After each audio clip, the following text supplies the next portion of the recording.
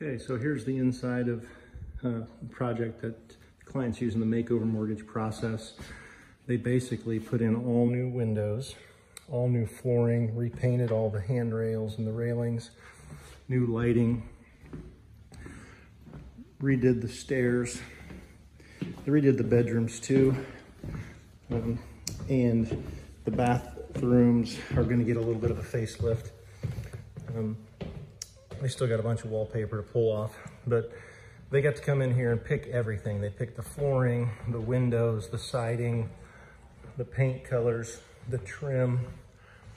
They're still working on the, the kitchen floor in the kitchen. But as you can see, all new, brand new Andersen windows. Um, they put a new roof on this house, all new paint, getting all new flooring. And they've rolled all these costs into the mortgage. So they got to buy the home, add all of these improvements, and then basically have one, one payment. So they've remodeled, they're remodeling pretty much everything from top to bottom.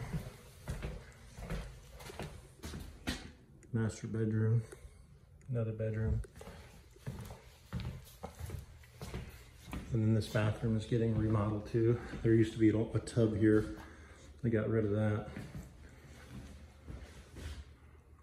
As you can see, everything's getting redone, remodeled, given it a full makeover, rolling those renovation costs into the mortgage. So if you're looking for a house or you found a house, but it's just not quite up to par, needs some work, give us a call here at Makeover and we can show you how to roll all these renovation costs into your mortgage and have one payment and uh, basically move in after it's done.